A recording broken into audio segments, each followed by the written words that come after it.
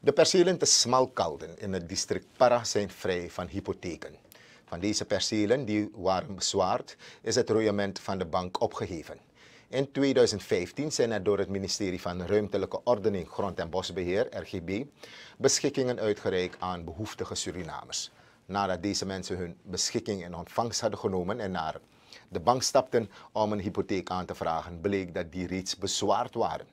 Grondeigenaren van dat gebied die toen in aanmerking zijn gekomen voor een beschikking, kunnen vanaf heden normaal activiteiten ondernemen op hun grond.